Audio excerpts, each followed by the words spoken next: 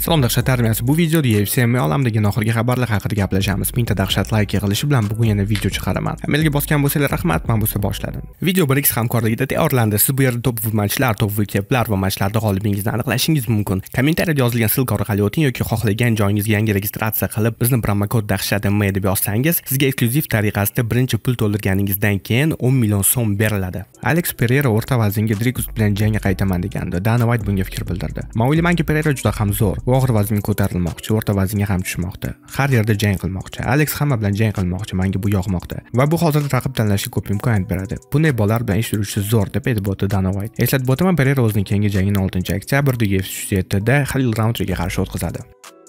Den Huker aytib o'tdiki, uni reytingda kim balandda bo'lsa hammani yo'q qilar ekan. Agar Dastin va Michael u bilan revansh qilmoqchi bo'lmasalar, uni ismini aytmasliklari kerak ekan. Toni Fergyuson aytib o'tdiki, yaqinda uni faoliyatida katta o'zgarishlar bo'lar ekan va yaqin orada yangiliklar bo'ladi.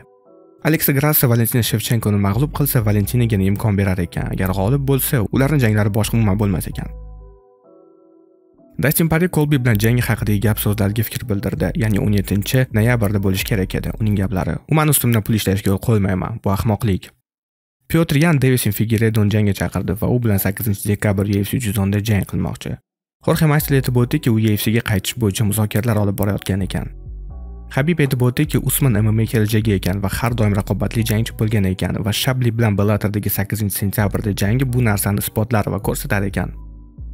Umar Abdulashvili aytib uman Nurmagomedov kamarga jangga arzimas ekan, chunki top 15 dan faqatgina bitta bolani mag'lub qilgan ekan, Nikori Sandhagenni va u bilan qiyin jang bo'lgan ekan. Keyingi pretendent Davison Figueiredo bo'lishi kerak ekan. Unda 3 ta ketma-ket g'alaba, eslatib o'taman 15-sentyabrda Delashvili chempion Omeliga qarshi jang o'tkazadi. Figueiredo raqibi Pyotr Yan bo'lishi kerak 8-dekabrda.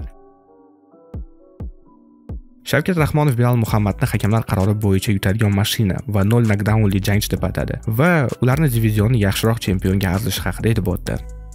Michael bismi Magomed Ankalayev Alex pereraga qiyin raqib bo'lishini hisoblamoqda, chunki unda dagistanlik kurash bor ekan.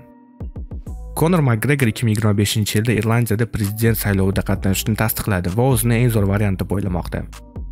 Aleksandr Shablin kamariga yo'li tez bo'lmaganini aytmoqda va u hech narsani yo'qotmaydigan bolalar bilan jang qilgan ekan. Usmonda bo'lsa bu tez bo'lgan ekan, chunki u top 10 dan hech kim bilan jang qilmagan ekan va darrov kamar olgan ekan. Ularning jangi 8-sentyabrda bo'lib o'tadi. Endi bo'lsa asosiy xabar do'stlar, Arman Sarukin va Islom Maxachev jangi bu yil bo'lmaydi. O'sha Tayk manbasi bu haqda xabar berdi. ularni jangi keyingi yil boshida bo'ladi. Arman yoki vaqtinchalik kamarga jang qiladi yoki Islom bilan jangni kutadi. Bundan tashqari dekabrga manimcha konor va Chandler jangini asosiy voqeaga qo'yishmoqchi. Shu sababdan Islom va Arman jangini keyingi yil boshiga surishgan. Bu haqda va bugungi xabarlar haqida nima deb o'ylaysiz do'stlar? Bitta dahshat like bosing, mingta dahshat like yig'ilishi bilan bugun yana bitta video chiqaraman. Prosmotr uchun hammaga rahmat dahshat armiyasi.